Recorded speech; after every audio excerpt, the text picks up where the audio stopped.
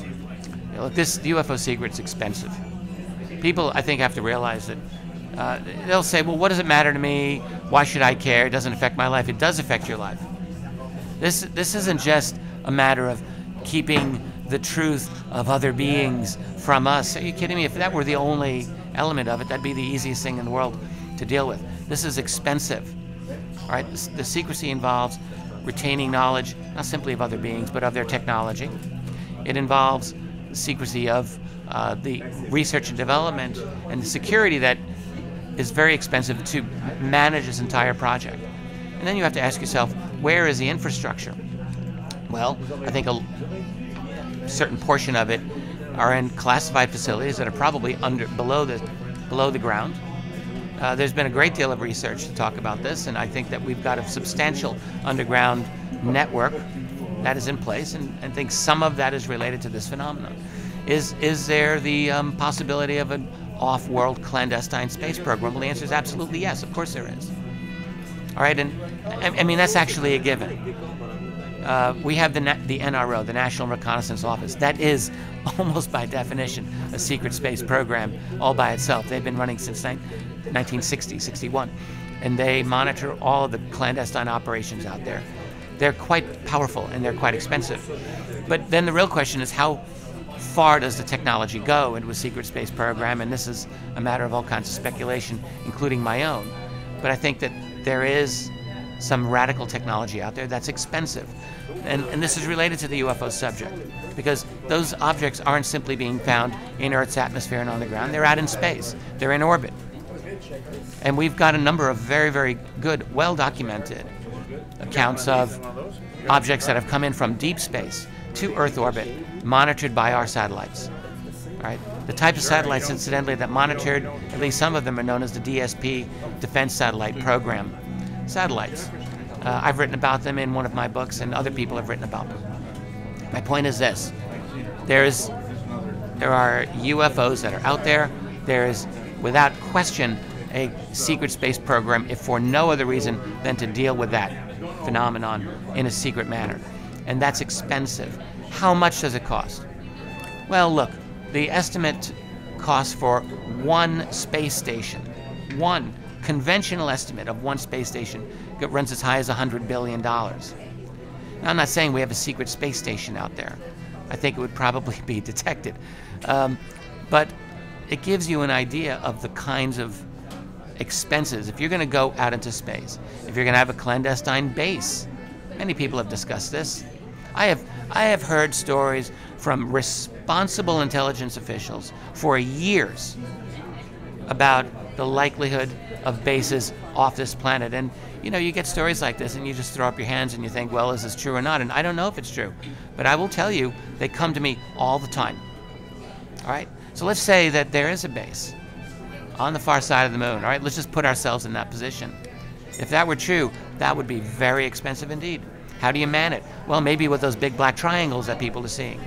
The BBDs, the big black deltas, that have been reported for decades and decades.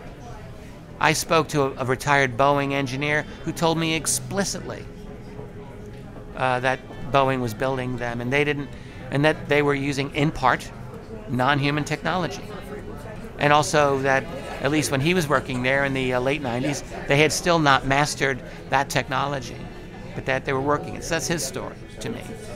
Is it true? Well, I think I believe him, right? So I think this is a, a fleet of black triangles that um, uses some kind of geomagnetic or electrogravitic principles, some sort of anti gravity, what we would call, to get off the planet. They're enormous, so they would be ideal, ideal uh, craft, it seems to me, for doing a provisioning operation for an asteroid or a moon or what have you. So, anyway, if, if you just ask yourself, and look, I know all of this is speculation, but let's just say some of this is true. It would be trillions of dollars, trillions, to have any kind of true off world infrastructure. Where would the money come from? There's a real question. Is it going to come from federal tax dollars? I don't think so. I don't think so at all. You know, how are you going to keep that secret from the world? So now you have to have a black budget, that is, clandestine spending that is around formal, formal legal methods of getting money. So you have to break the law. You have to engage in essentially criminal enterprise. And maybe you think you're doing the right thing, but it's still against the law nonetheless. And it's expensive. Where they get it? Well, that's a question for really good accountants. Do you get it from securities fraud? Do you get it from narco trafficking? Do you get it from who knows? There's a big hole, a black hole in the center of our global financial system. There's a lot of missing money. There's a story now. It's out and it's a legitimate story about the disappearance or the misallocation of 21 trillion dollars from the United States government from 1997 or 98 to 2015. So almost 20 years, uh, mostly from the Pentagon and 1 trillion from HUD, Housing and Urban Development. And that's only scratching the surface because the team that's been looking into that, there's still a lot that they haven't gone into. That number could be 50 trillion. Now, th- that's mind-boggling because 21 trillion would actually pay for the entire debt of the United States of America. The entire debt, not the deficit, the national debt. And the, mind just reels at that. So, A, where did the money come from? Where did it go? And this is a question for auditors and accountants, and I'm sure they will never get to the bottom of this legally. It'll never happen. The United States government is, is almost, uh, by definition, unauditable. Like, God could not audit the US government. Like, it would be, it's an impossibility. And I think it's designed that way. And, you know, they can tell you all they want about how we're trying to get our finances in order and we're trying to, you know, solidify our accounting system. That's BS. Because they can't do that.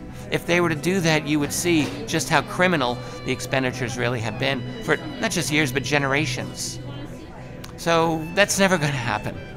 They're going to talk, talk, talk, and they'll just keep the public satisfied as long as they can. But meanwhile, money is getting siphoned out of our system. It's like an w- open window, and there goes your heating bill. They just crank the heat, it all goes out the window. That's our system.